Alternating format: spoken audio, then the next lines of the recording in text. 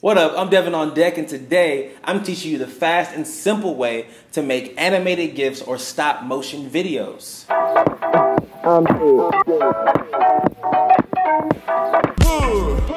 Welcome back to Devan on Tech, where I give you how-tos, reviews, and creative talk. In today's video, we're talking about how to make really dope looking GIFs or stop motion animations, whatever you want to call them. But first, if you haven't subscribed to my channel yet, please do. I've made a name for myself on Instagram for making imaginative and playful content that at the same time is very curated and stylish. So I dedicate a part of my YouTube to just giving y'all game on the content side of things, teaching you how to edit, how to shoot, and how to just tell stories better and be more effective in the digital space. So if that sounds good to you, you are in the right place. And if you've already subscribed to my channel, make sure you hit that little bell icon so you get a notification every time I post a video. So what inspired this technique is the Boomerang app, which many of you know is made by Instagram. This is before they even put it in Instagram stories, maybe even like a year ago. And I just felt like six seconds just wasn't enough for me to do the kind of animation I wanted to. So I was like, hmm, how do I make my own boomerang?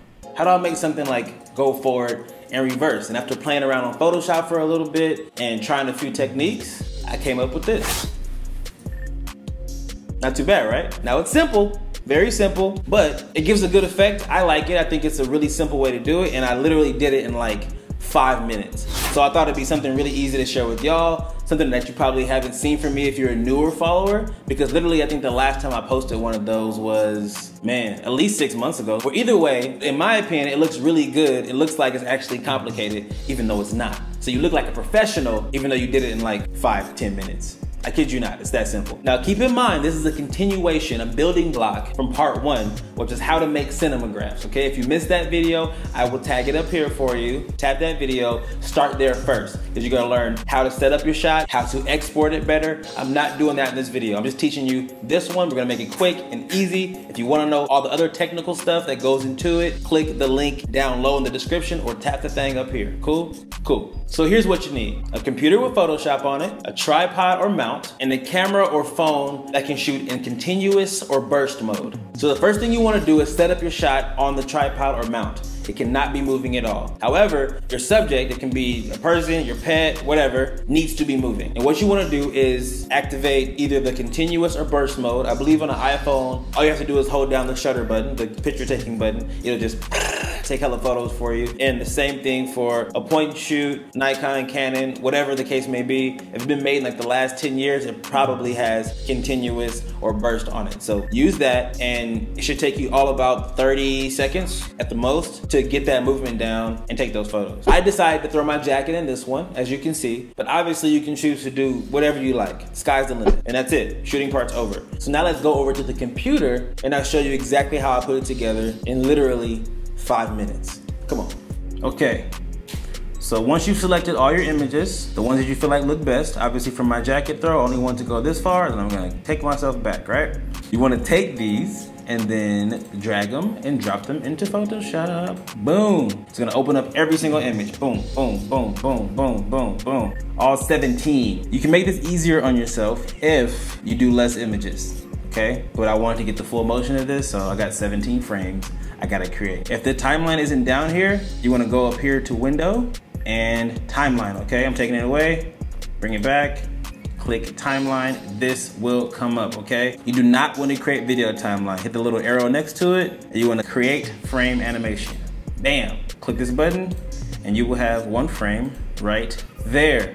So the next, what you need to do, literally take every image in order and paste it into this document, okay? So this is image number 17, as you can see. I'm gonna grab 16, copy it, Command A, Command C, close that one, and then paste it right on top of that. So now you have the frame before and the frame after. I'm gonna just keep doing that, okay? Again, go on to 15, copy, paste it here on 17.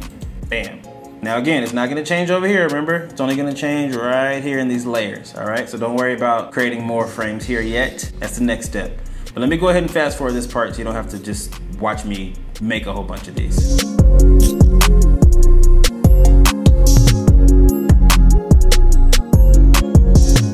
Next, what you wanna do, over here next to the trash can, you got this little button for duplicate selected frames, okay? So you're gonna make a new frame, by hitting that button, bam, right? So now you have two frames. So this is how it goes. For each frame, it's going to show you exactly whatever layers you have visible at the moment. So what you want to do is toggle what frames will be visible in the next frame, all right? You get what I'm saying?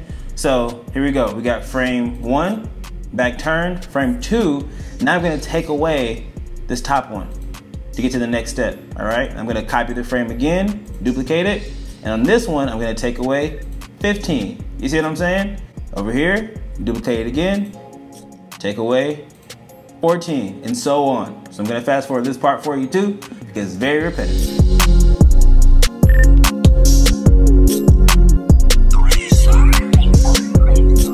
So now in our timeline, we have frames that match our layers. Before you move on, you wanna test it to make sure everything is working, all right? So right here, with the looping options, click once and make it forever, all right?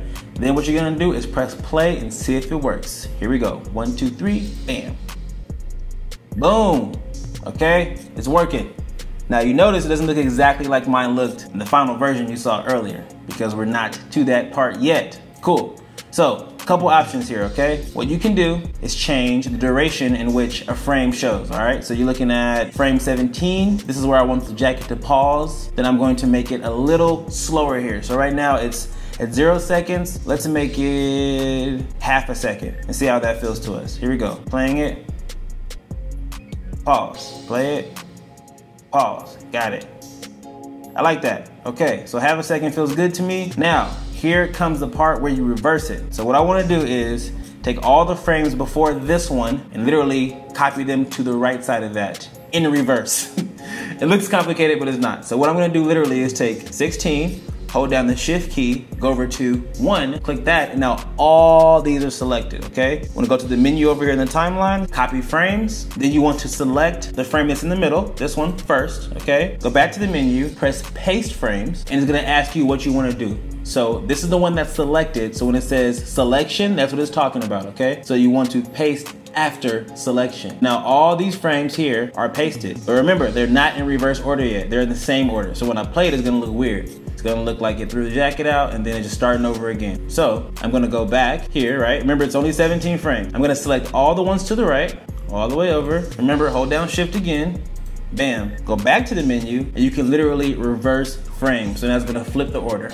Bam. So now what you're gonna see from the beginning to the end is me throwing my jacket. It's gonna pause and then reverse. Here we go. Er, there it is. Bam and now it's doing exactly what I wanted to do. That literally took me five minutes, guys. Five minutes. Maybe seven because I have to talk to you about it, but that's it. Simple. So once it's looking good to you and you're happy with it, go ahead and go to File, Export, and Render Video. This is the same screen I showed you in part one. Follow those directions and export it from here and you are good to go for Instagram video.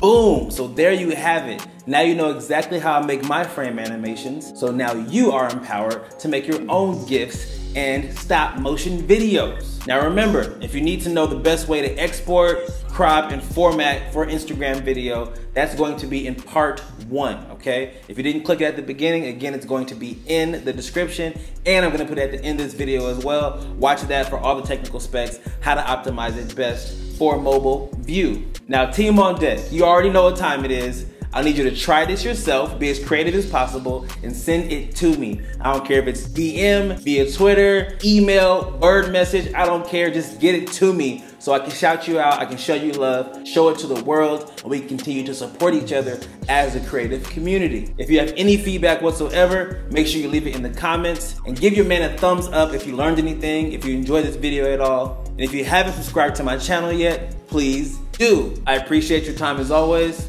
and I'll see you on the next one. Peace.